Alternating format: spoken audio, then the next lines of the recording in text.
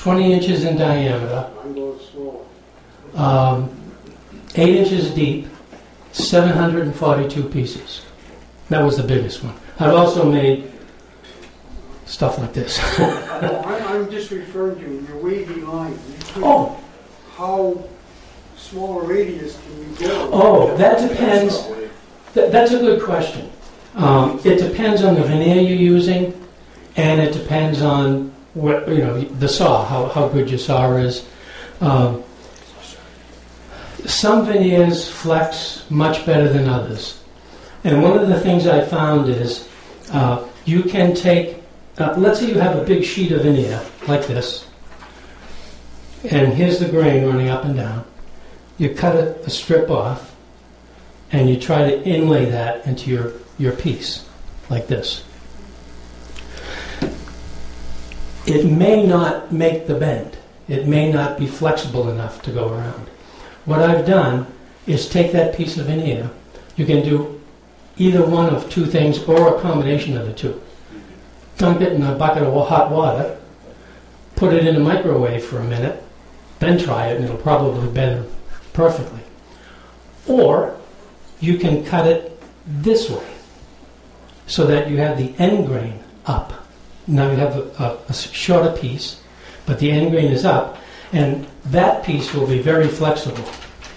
And that will pretty much follow any contour. I say that, but you know, the truth is, some veneers just you just can't use. I found oak to be very brittle and very hard to bend. Uh, maple is much much more easy to work with. Uh, Bubinga is very nice. Walnut is nice. Teak is a little tough.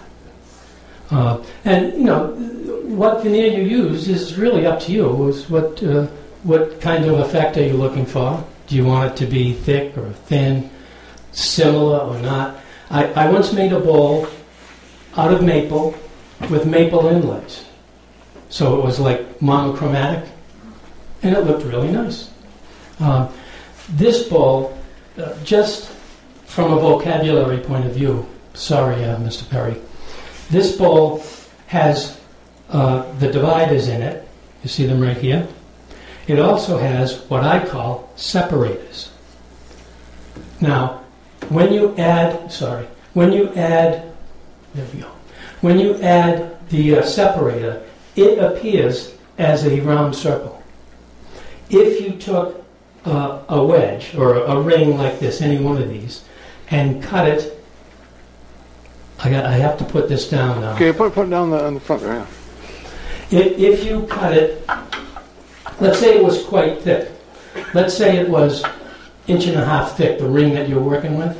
If you cut it this way through the bandsaw, trying, you know, you don't even have to make a wavy line, just cut it. And then glue a piece in, that will show as a, as a round circle on the inside. Um, or if you take uh, pieces and glue them in between the rings, the separators, as I've shown here, those appear as round circles. So what I could have done on this ball is taken, uh, add, added more veneer in between the rings, and you would then have the round circle, wavy line, round circle, uh, wavy line here, round circle, wavy line.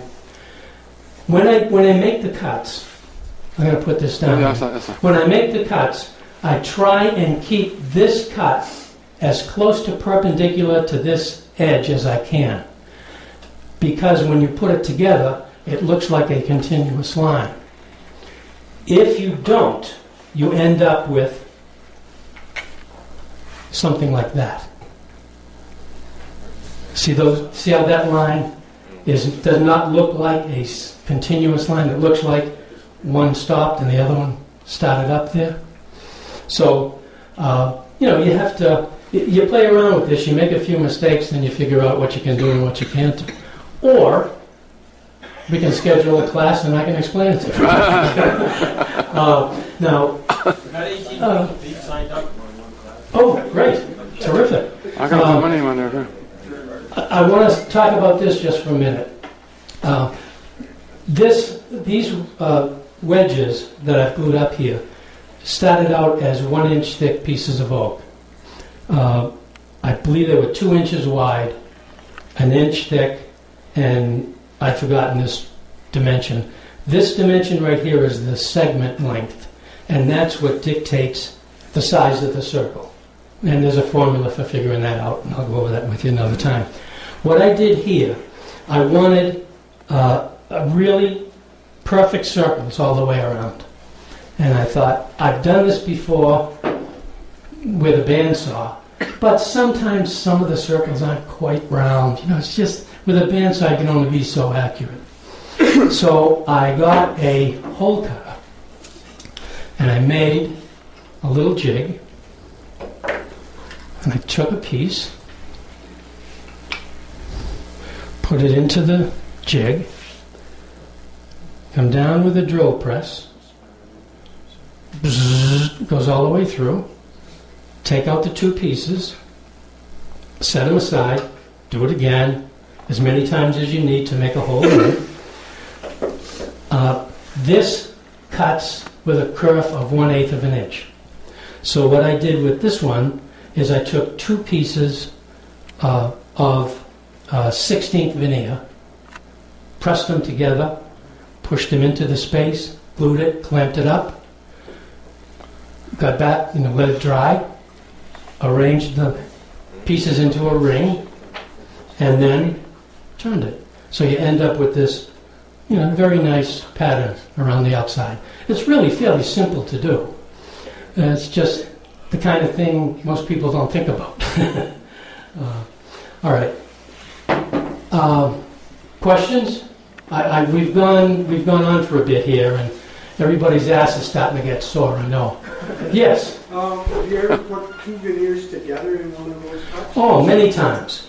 Um, And vary your thickness? yeah. Uh, here is. Um, can you get that, Mr. Perry? There is three pieces of 1 16th veneer, and here is one, two, Why can't we Three, four. Three together? nine pieces of veneer. No, I'll put that one right there. Okay? And what I do, uh, I'll make up a piece maybe two feet long, three feet long, or two or three pieces a foot long or 18 inches, you know, whatever I'm comfortable working with at the time. Glue them up. And of course, the glue always oozes out all the sides. You know, you get the squeeze out. So I sand it down, sand one edge, and then rip it to the width I need for the job I'm doing. Uh, if you look at these dividers here, that's three pieces. Now, I put it in as a single piece, but it's made up of three pieces of veneer. And this one has five. And some of these you just can't see from where you're at. If you want to come up and take a closer look at this, you're all welcome to do that. Uh, this has, sorry, five pieces of veneer in each divider. So, how thick you make it is up to you. It depends on how much time you want to spend on it and what you got laying around. Yeah, Can you crisscross those uh, rings? Could you cross over? I don't With think the so. How do you mean by crossover? But when you're, when you're doing, you're taping your two half rings together. Yeah. And you're cutting across, because you cut, cut across one of your, Oh, sure. Oh, yeah. Yeah, this one is like that. Can you see that? The, the line crosses over one and comes back and goes over? Can you see that? Uh, Just put it to the show here. Is, is this what you're asking? Yeah, oh, yes, okay. I Okay. can see that one. Yeah, sure. Now, I do want to tell you, uh, caution you about one thing. I've made, I've made lots of bowls with diagonals like this. Some of them have been taller, and I've made two or three diagonals. That's fine. If you're having, if you're making a bowl where you have one diagonal going this way and another one going the other way, Switch it. You're going to have to do a little more specialized work because just cutting it, the second piece won't, uh, the first piece won't line up anymore. And you have to remove some of the material and put that in. That's this is the kind of thing you don't really understand it until you do it and you say, oh yeah, now I know what you meant. and uh, uh, I, I have made several bowls with crossed rings like that. Uh, and each time I've had to make the cut and then move the piece over in the chop saw and cut off again the approximate width or thickness of the ring. And then everything lines up again. In fact, I've got a photograph.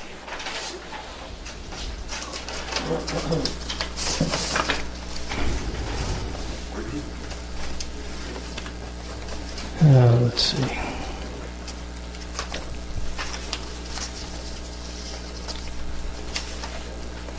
Here we go.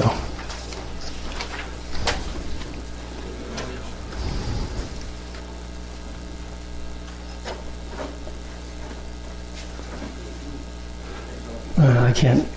Oh, thanks, Tom. Okay. So there we have two rings in the same piece. Now, those two bowls, those are two separate bowls. Uh, it's not, you know, a picture taken and then the photographer moved it into another. Two separate bolts. But you can see how they intersect inside and outside. And to make that, after you've cut, you put the first ring in and it's beautiful, it just fits right in there. When you go to fit the second ring, to cut it, you have to cut it and then move it a bit and remove some of the material. So when that second ring goes in, everything lines up again. Yeah. You sell these or just? Oh, yeah. Uh, I'm participating again in the Lake Scugog Studio Tour. I have some brochures here. It is May 2nd and 3rd. Uh, please do not feel like if you come you have to buy something. If you want to just stop by and see what I've made, and this is some of it, but there's a whole lot of others too. Uh, you're welcome to. I, I live in Port Perry, and my house is easy to get to. If you didn't get a brochure last week, please take one now. There's a lot of waste, a lot of waste to, to your uh, veneer No, not really. No. when you use a large piece. Um, no, what I do, uh, oftentimes I'll glue up a piece like this. You know, I, whatever I, sometimes you buy veneer and you get exactly the right widths, and sometimes you don't. And you just cut the pieces to a standard size. I glued up three thicknesses, five thicknesses. There's uh, black, maple, and bubinga. Glued it up, and at some point down the line, I'll want this, and I'll just cut it, rip it to the width I want, and chop it to the length I want, and put it into a bowl like that. Okay, when you run out, where are you gonna buy some more? All right, that's You haven't told us yet where you got it from. most of the veneer that I use now. I brought with me from the U.S. I, I usually buy it from uh, an eBay store, veneer, uh, good quality veneers, reasonably priced. Woodchuckers has dyed cherry. hmm I think he said it was dyed cherry. The problem is when you cut it with the grain, Yeah. it's not dyed It- it- all the way through. Yeah. You Can't, can't I use know. for segmenting or, Right. Uh, that that happens a lot. I've tried to dye my own and didn't have much success. It was a pain in the ass. you know. Yes. A and M in Kitchener sells switch veneer. Say that again, please. A and M Okay. in Kitchen, or in Cambridge sells. In Cambridge, okay. And uh, I forgot your name. No, it's a company that sells edge banding and they sell it with veneers. Right. They're here in uh, Ajax, I Okay. And the name is believe. True True Match. True Match in Ajax or in, in this area somewhere. And they uh, they sell edge banding, and usually places that carry ed- edge banding carry it either pre-glued or fleeced or nothing, you know, nothing, no backing at all. Uh, Paperback. Yeah, okay. Some people like it. I, I don't because then you see the little line where the paper is. Now, if you're gluing the veneer down the way you normally use veneer, the paper doesn't make any difference because you don't see it. But when you stand the veneer up, then you see the paper. So I always use just raw veneer. Uh, the edge banding, where is it? Uh, this is fleeced, and what fleecing does, uh, as the veneer is made, they spray this fleecing on, and what it does, it stops the veneer from cracking and splitting. Uh, when you when you glue this, uh, because it's been round, it's going to push the two pieces apart. So you have to the two wedges. So what I what I do is I I uh, glue the two pieces together and wrap an elastic around it. Let it uh, dry for you know, 15 minutes, and it's not dry yet, but it's enough that it don't come apart. Then you can continue to. What I usually do, and we'll get into this in the other class. I usually work with 12 segments per ring, and I usually glue up three pieces at a time. Uh, if you glue two, then you have to glue two t- together to make four, and then glue two more together to make six. But if you glue three together, and then another three, you just glue, glue those two together once. So you're handling it less, and it goes much faster. I usually use 12 segments per ring, but I do eight, any even number.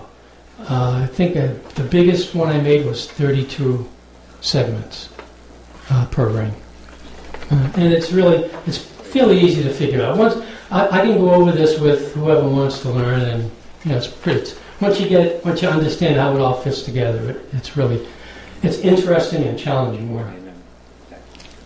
So you're on, the- you're on the top of page six, right? Yes, site six. You're on top of page six, yeah. Okay. Thank you, guys.